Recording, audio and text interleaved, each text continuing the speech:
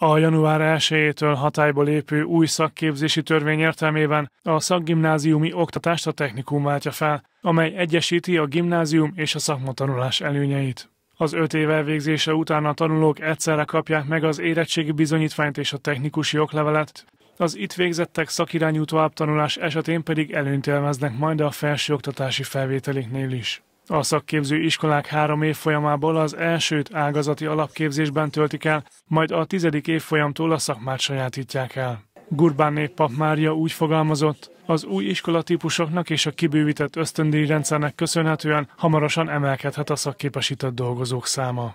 Mindenki, aki a szakképzésben tanul, bármelyik iskolatípusról is legyen szó, ösztöndíjban részesül, ez technikumban havi 7000 forint, szakképzőiskolában 14 ezer forint, amikor pedig kikerül szakirányú oktatásba gazdálkodó szervezetekhez, akkor munkaszerződés keretében folytatja ezt a tanulmányt, és ott pedig a minimálbér 50, illetve 70 százalékában is részesülhet. Mind a kettőnél fontos, hogy a végzés követően nevezett pályakezdési juttatásban részesülhetnek. Én nagyon bízom abban, hogy a szakképzésben is meglátják a karrier lehetőséget, meglátják azokat az életutakat, amely jó lehet.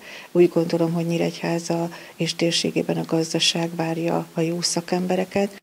A Nyíregyházi Szakképzési Centrumnak kiemelt célja, hogy még intenzívebb együttműködést alakítson ki a megyeszékhely nagyvállalataival, valamint kis- és középvállalkozóival. A Michelin Hungária Kft. nyíregyházi üzeme 1300 dolgozót foglalkoztat, a gyárigazgatója pedig úgy fogalmazott, a partnerségi viszony jó alapot ad a minőségi termelés kialakításához.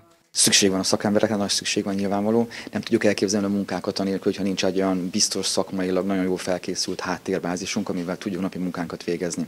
Milyen szakemberekre van szükség? Nyilván a gépeken dolgozó emberek szinte bármilyen végzettséggel érkeznek, ők tudunk dolgozni, de van néhány olyan szakma, ahol nagyon fontos, nagyon jó szakmai fölkészültség. Ilyenek a karbantartó szakmák, akár a műszerész, akár a mechanikus karbantartók, ilyenek a CNC forgácsolók, és ilyenek a vegyipari technikusok.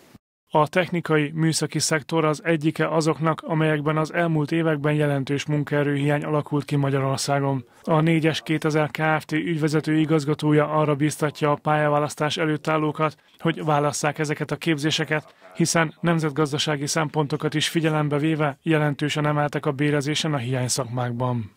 Az elmúlt évtizedekben fölértékelődött a szakmáknak az értéke, és azt látjuk, hogy, hogy kétkezi dolgozóként, szakemberként top menedzseri fizetéseket is lehet keresni, akár egy cég alkalmazottjaként, akár egyéni vállalkozóként.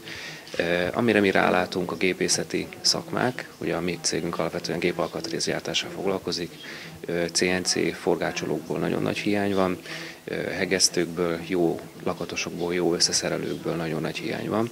Az új szakma struktúra szerint 174 alapszakma létezik, a Nyíregyházi Szakképzési Centrum 10 iskolája pedig 19 ágazatban 52 szakmát kínál. Ennek részleteiről mind a centrum, mind pedig az iskolák honlapján lehet részletesen tájékozódni. Azok a tanulók, akik technikumban vagy szakképző intézményben szeretnének tovább tanulni, február 19-ig adhatják be jelentkezésüket.